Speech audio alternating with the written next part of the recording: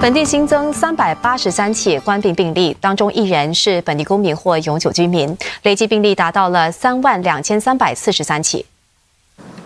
截至今天中午十二点，本地新增的三百八十三起确诊病例，绝大多数是居住在客工宿舍的工作准证持有者。卫生部表示，新增病例较少，部分原因是进行的检测次数减少。卫生部今晚将公布更多的病例详情。